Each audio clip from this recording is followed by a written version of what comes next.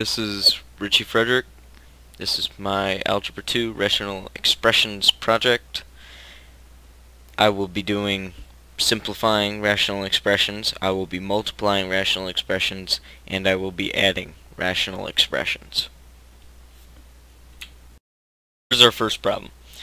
In this problem we're going to be simplifying this rational expression.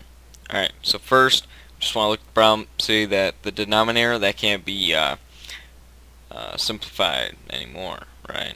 So I just add these uh, parentheses outside of them. Now we're going to turn our attention to the numerator. What we need to do is find two numbers that multiply together to get negative 8 and add together to get positive 2. This is going to be 4 and negative 2. Alright? Now what we're going to do is we're going to rewrite this.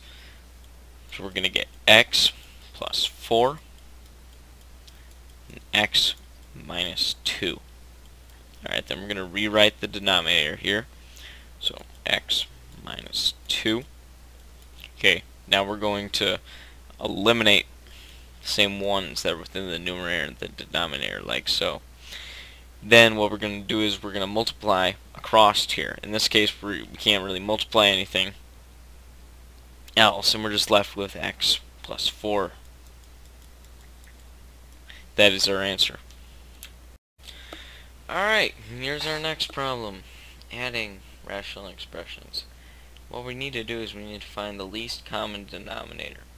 Here's how we do that. We basically just write them, take this, and just put this over here, put that over here. Right? So now we're going to have x minus 3 and x minus 2. Right? We're also going to have um, the same thing over here. Okay, but what you need to do now is you have to make sure you add these new ones to the numerator also. So like over here we already had the x minus 3, now we have to put the x minus 2 up here also. Same with here, we had the x minus 2 originally, so now we have to put the x minus 3. Right. So now we're going to distribute. I'm just going to do it up here.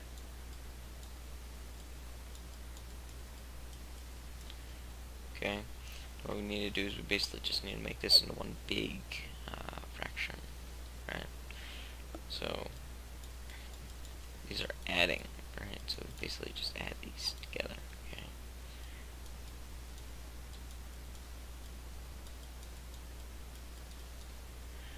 But what for, for these, for the denominator, you only write this once. So.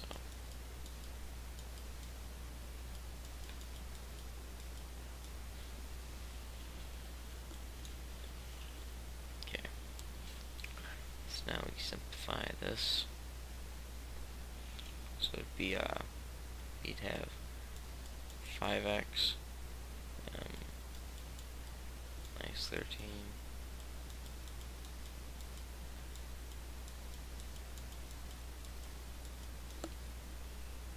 Alright, that'd be it. So for our final problem, we're going to be multiplying a rational expression, right? And I forgot the multiplication sign. There we go! Alright, so we're going to start here.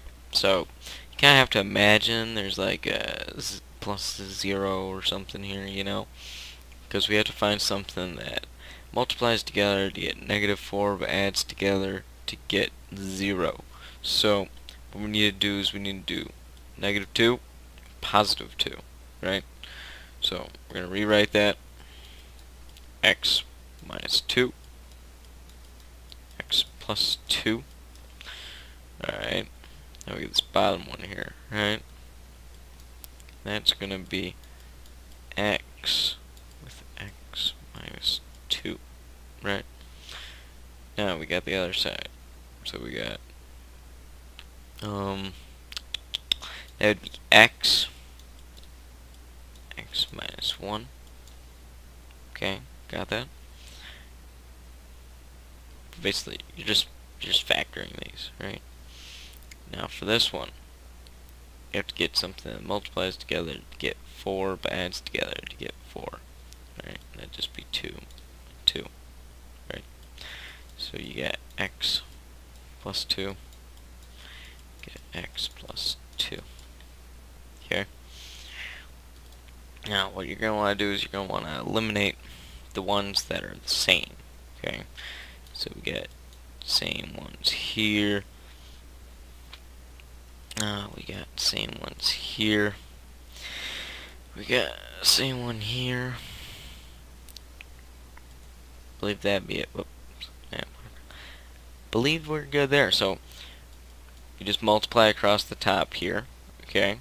Top and bottom, excuse me. And we'd end up with this x minus 1 with the x plus 2. Alright, that's it.